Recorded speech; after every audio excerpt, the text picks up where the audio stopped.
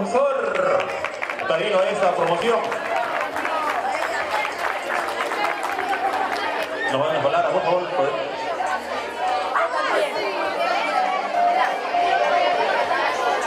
Bueno, guardamos silencio, vamos a escuchar al padrino, el señor David Deza. Muy buenas tardes, profesor Walter, profesoras, queridos padres de familia y niños de la promoción 2019, a los cuales les voy a pedir que me escuchen un ratito, ¿ya? A ver, vamos a hacer como si estuviésemos en la formación, y cuando uno escucha, cuando uno habla, los demás, escuchamos, ¿ah?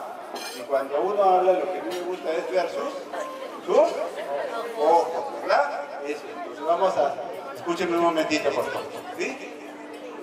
Queridos padres de familia, eh, en primer lugar agradecerles por haber pensado, en mi persona y en la de mi esposa para ser padrinos de esta promoción.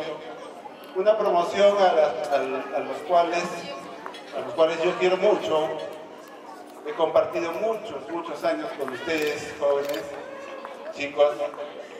Los he visto entrar a primer grado, algunos con sus caritas temerosas, con sus lagrimitas en sus ojos, pero también he ido, he ido viendo su progreso, su crecimiento, cómo cada día eran más seguros de ustedes, eran más amigables, más sociables, hasta incluso más traviesos cada vez. Les agradezco mucho a ustedes, señores padres de familia, por haber pensado en mi persona, como les digo, para padrinar a esta linda promoción. El día de hoy culmina una etapa de su vida, una etapa muy linda, en la cual los tenemos siempre a nuestro lado, incluso nos obedecen más en la, la etapa que van a entrar. Se les aproxima años difíciles, niños entran a una pubertad, a una adolescencia, a un nivel secundario de mayor exigencia. Pero queridos padres, comprendámoslos, entendámoslos, siempre apoyémoslos. Son nuestros hijos, son sangre de nuestra sangre. Entonces, nos van a necesitar, así él te diga no de la boca para afuera, así te mire feo, nos van a necesitar. Estemos con ellos siempre, acompañándolos, guiándolos, cuidándolos, porque, como repito, ellos necesitan.